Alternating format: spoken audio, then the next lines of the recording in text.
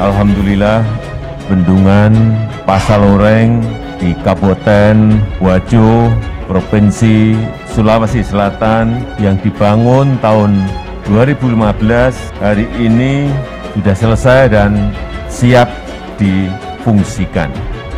Bendungan Pasloreng ini menelan biaya 771 miliar rupiah dan sudah dilengkapi dengan bendung irigasi Gilireng yang akan sangat bermanfaat untuk mendukung Sulawesi Selatan sebagai lumbung pangan nasional. Dan dengan mengucap Bismillahirrahmanirrahim, Bendungan Pasloreng dan Bendung Gilireng di Kabupaten Wajo, Provinsi Sulawesi Selatan, siang hari ini saya nyatakan diresmikan. Kalau subsidi dihilangkan semua, menghilangkannya untuk membangun infrastruktur semata-mata, saya tidak setuju. Infrastruktur sangat penting. Di era saya juga kita bangun besar-besaran. Pemerintahan Jokowi JK telah melanjutkan sejumlah proyek infrastruktur yang mangkrak selama bertahun-tahun warisan dari periode sebelumnya. Presiden Joko Widodo mengingatkan Indonesia harus mengejar pembangunan infrastruktur yang selama ini telah tertinggal dari negara lain agar dapat bersaing di tingkat global. Saya dengar Pak Jokowi juga begitu bagus, tapi ingat jangan sampai APBN diserot, uh, ulangi, diserap habis. Atau terlalu banyak yang dibawa ke infrastruktur lantas untuk membantu rakyat kecil menjadi tidak ada. Infrastruktur itu bisa diambil dari dana APBN dana BUMN dan dana swasta Selama satu periode memimpin, pemerintahan Joko Widodo Yusuf Kala telah melanjutkan sejumlah proyek infrastruktur yang mangkrak selama tahunan hingga puluhan tahun, warisan dari era kepemimpinan sebelumnya. Di antaranya proyek Jalan Tol Bekasi Cawang Kampung Melayu atau Tol Becak Ayu yang mangkrak selama 22 tahun.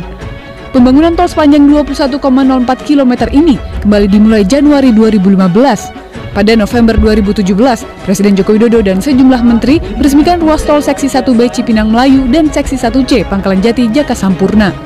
Infrastruktur menjadi pondasi kemajuan suatu bangsa. Di pemerintahan Jokowi JK, sejumlah pembangunan telah dirampungkan demi mesejahterakan seluruh warga Indonesia. Pembangunan waduk bagi petani itu penting, Mas. Kalau dulu nggak ada waduk itu satu tahun hanya nanam padi sekali. Terus sekarang ada irigasi sudah bisa dua kali. Sekarang Alhamdulillah sudah ada bantuan rumah dari kepemerintahan Bapak Jokowi dan PUPR. Alhamdulillah saya tidak ada pungutan sama sekali, apalagi harus bayar. Pertanyaannya, apakah ada gade yang tidak retak? Tidak ada. Pemerintahan yang saya pimpin kemarin juga ada kekurangan-kekurangannya. Tidak semuanya serba baik. Ada yang belum sepenuhnya bisa kita wujudkan. Harus kita akui. Saya ingin berpesan agar bendungan ini ini dimanfaatkan sebaik-baiknya dengan disambungkan dengan seluruh jaringan irigasi yang ada sehingga sekali lagi masyarakat utamanya para petani bisa meningkatkan produktivitas pertaniannya. Dan dengan mengucap Bismillahirrahmanirrahim, Bendungan Bendo di Kabupaten Ponorogo, Provinsi Jawa Timur, siang hari ini saya nyatakan diresmikan. Proyek Bandara Internasional Jawa Barat (BIJB) atau Bandara Kertajati mangkrak selama 10 tahun karena kendala sumber pendanaan. Pada 2014, pengerjaan kembali dimulai dengan pendanaan dari APBD dan APBN melalui program penyelesaian proyek 15 bandara baru. Mei 2018, Bandara Kertajati diresmikan dan menjadi bandara terbesar ketiga di Indonesia. Di Indonesia Timur, proyek Jembatan Merah Putih Ambon Maluku juga mangkrak sejak 2011 di era Presiden Susilo Bambang Yudhoyono. April 2016, Presiden Jokowi meresmikan Jembatan Merah Putih Ketua Komisi Pemberantasan Korupsi atau KPK Agus Raharjo memastikan 34 proyek listrik mangkrak di era Presiden Susilo Bambang Yudhoyono akan segera diselidiki. Kasus korupsi di bidang energi adalah isu serius yang akan digarap KPK. Agus mengatakan 34 proyek listrik mangkrak yang merugikan negara hingga 4,94 triliun rupiah harus diinvestigasi. Penyelidikan 34 proyek mangkrak ini sendiri adalah inisiatif Presiden Joko Widodo.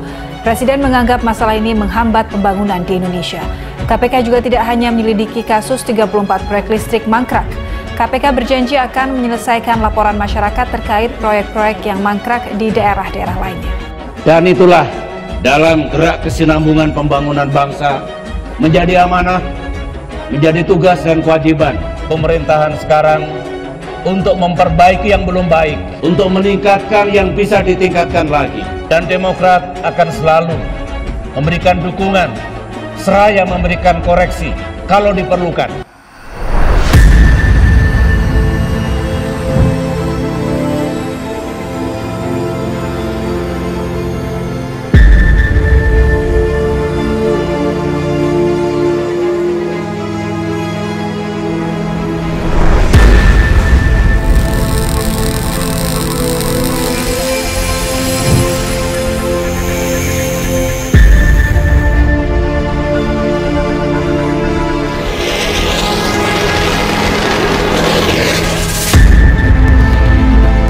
Menuju ke sebuah kemakmuran, menuju sebuah kesejahteraan.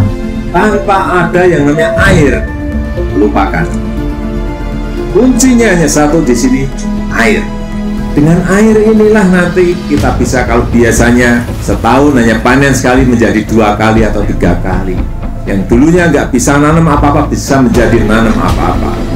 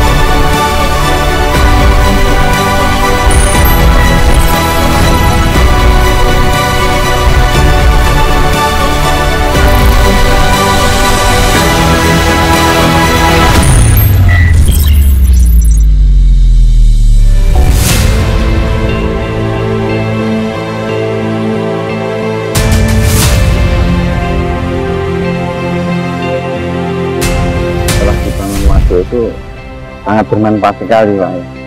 Dulu satu tahun itu bagi lahan kering itu bisa tanam padi satu kali. Kalau sekarang itu bisa tiap musim tanam.